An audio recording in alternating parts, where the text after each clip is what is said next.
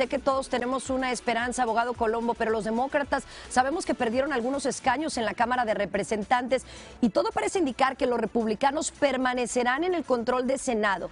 Eh, con esto, ¿podrá Joe Biden ejecutar su plan migratorio como lo tiene pensado con este nuevo Congreso?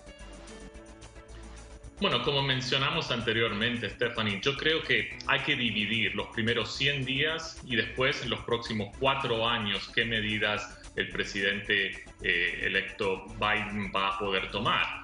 Obviamente no va a ser todo en los primeros 100 días. Entonces van a tener prioridades. Uno de los temas es cambiar el sistema de inmigración que ha sido dañado tremendamente por la administración de Trump hasta hacer una llamada o pedir una cita en inmigración es limitada. Entonces hay que empezar con un cambio drástico con el director de inmigración y de Homeland Security y hay que hacer los cambios que él pueda hacer.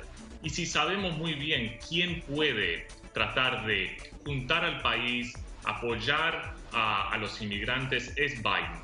Entonces es una persona que tiene un récord, que ya ha trabajado con los republicanos, entonces espero que puedan tomar medidas para finalmente poder resolver el tema de inmigración en Estados Unidos. ¿Algún último mensaje para aquellos inmigrantes, algunos que sabemos que están esperanzados, pero también hay otros que están temerosos con la victoria de Joe Biden en la Casa Blanca, abogado Reyes? Bueno, definitivamente eh, vienen, son buenas noticias para la comunidad inmigrante de personas que están esperando que hayan cambios eh, en lo que es el área de inmigración, entonces esto es algo positivo.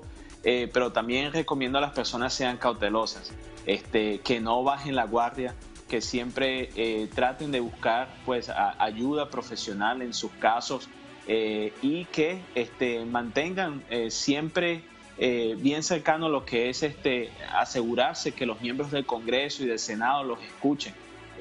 si las personas no están pendientes de su caso y no están pendientes de lo que está pasando a nivel nacional, entonces eh, estos nuevos derechos que las personas pueden tener, inmigrantes en este país, eh, se les puede quitar. Entonces hay que estar bien seguro de que las personas estén bien asesoradas y también estén encima de sus congresistas y senadores. Muy importante. Abogado Colombo, su última palabra, su sentir para toda esta gente que algunos están festejando, pero otros no tanto.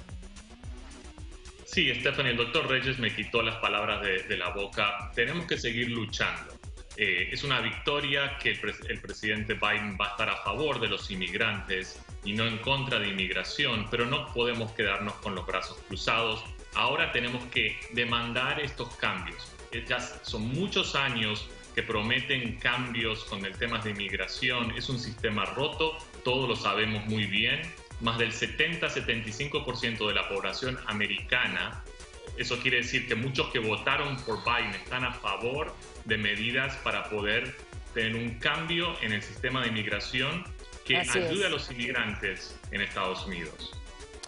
Sin duda, muchísimas gracias a los abogados de inmigración Jesús Reyes y Carlos Colombo por acompañarnos esta mañana para aclarar dudas sobre este plan migratorio del presidente electo Joe Biden. Que tengan un excelente día.